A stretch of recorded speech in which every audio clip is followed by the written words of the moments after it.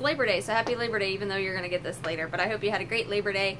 Uh, we yesterday afternoon, Chris had called Eddie again to see um, if because of all the rain, you know, we were just trying to figure out what was gonna what was going on, and he said, yeah, because of the rain, he just he couldn't get to his first appointment in the morning till a lot later, and that and that ended up taking a lot longer. So he was going to come this morning instead, and of course we woke up this morning and it's raining again, which is okay. But the problem is for him to do the work on the uh, it's on the air conditioner. It's all on the roof and outside. So obviously, and you don't want to be moving things and opening things up when it's raining. So on your roof. Um, so Chris talked to him today and was like, you know, he said, well, I can wait and see when when it lets up and I can come. And Chris said, no, please just let's just wait till tomorrow because tomorrow's going to be nicer. And we didn't want him to come on Labor Day anyway. He had kind of insisted. We wanted him to have, you know, a day off. It just didn't seem right. But he, last night, he had insisted that he'd come this morning. But anyway, so it's raining. Postponed. Tomorrow he will be coming.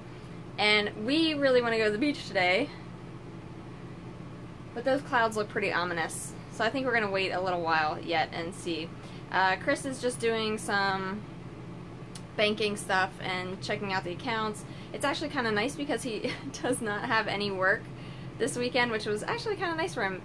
Uh, there's a lot of flexibility when you, you know, kind of he's really running his own business, but the upside is that he can work anytime. He's not set to like a Monday through Friday. The downside is anytime he has work, he's working. So you also kind of don't get a break, and it just happened to coincide this weekend with finishing a bunch of projects, so he actually has a little bit of a break from work, so it's kind of nice for him. So I'm he's doing that. I'm gonna start working on the blog a little bit, and then we'll check back with you.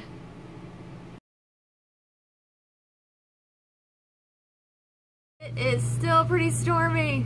It's late afternoon, and look at that. That is very, very ominous. And look how fast those clouds are moving, too. I don't know if you can tell very well in the video, but they're moving. But our little friend is still out there. You can see him on the branch. Little hummingbird. He's so cute. It's like he just cannot sit still. He has to rock back and forth.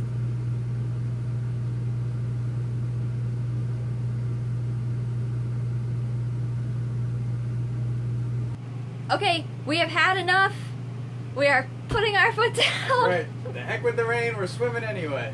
I don't know what's going on, but the, it's still raining pretty hard. But we haven't had any thunder or lightning, so we think that we can go swimming at the pool. Yes. It is now 3:19, and actually, what happened is I got a lot of uh, stuff done on these videos, these uh, day in the week videos, and Chris actually cleaned well, I did that because he doesn't have any work right now. So it's kind of like I said, it's kind of like this fluid life. I've talked about it before, but like we used to have such separate roles and duties uh, because our time was so uh, demarcated, if you will, to different tasks all the time. Definitely made that word up. Oh, that is definitely a word. Demarcated? Maybe. if it is, well done.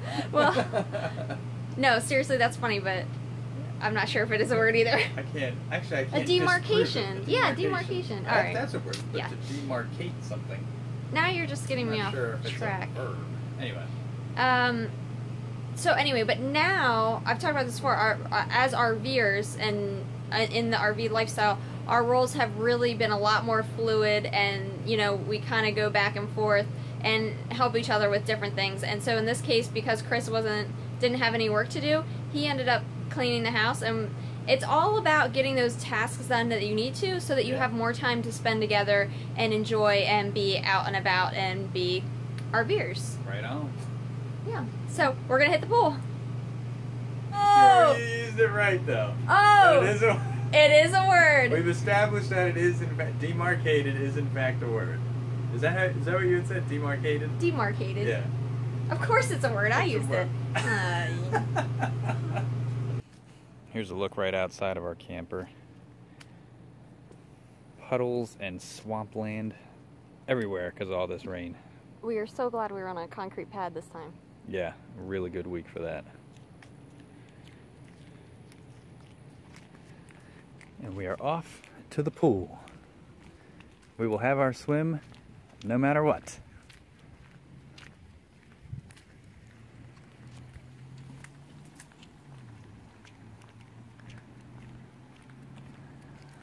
There's a shot of the bathhouse. Got our spot nice and close to it. It's a gorgeous facility. That's right, gorgeous bathhouse. There is such a thing. I think you're getting carried away with the camera. What? Me? Oh. I hold the camera for 30 seconds and all of a sudden she's giving me limits.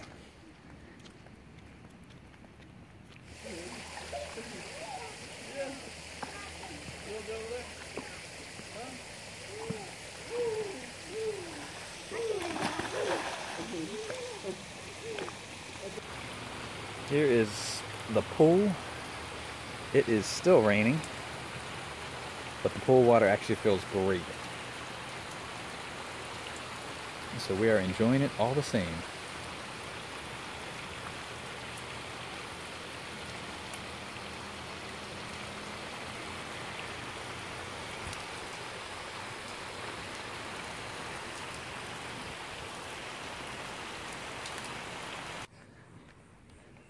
Hey guys, so this might seem like a little bit of a weird segment, but I wanted to take this opportunity to show what a top-notch bathhouse looks like. This is, well let's see, we've been on the road and stayed at upwards of 70 RV parks now in the last year. And this on my list is number three on my favorite bathhouses. This one's awesome. And it is an example of what a 10 star rated uh, facility looks like, and that's the Good Sam's rating. 10 star means the bathroom facilities are as good as they could possibly be rated. So, let's go check it out. See, it is super bright, really clean, tile on the floors. You got five different sinks here, nice tops. Again, they keep these really clean. They clean them every single day. You got your toilets over here, three individual stalls, urinals over on this side. And then in the back, here's where the shower areas are. And this is nice because you have a little compartment here that you can pull the blind over. You can change in here. And then you've got a big shower, walk-in shower um, that you can use. So it offers a decent level of privacy. Yeah, these aren't completely private. The number one and two campground uh, restrooms on my list are ones that are they look this nice in terms of tile and just cleanliness, but like they actually give you your own individual bathroom, which was really nice. But this is uh, an exceptional facility as well, and they do a great job keeping it up. So just wanted to give you guys a quick example um, because I think this is surprising to a lot of people. They think campgrounds, this is not at all what they expect for bathroom facilities, but some of the parks out there really do a fantastic job.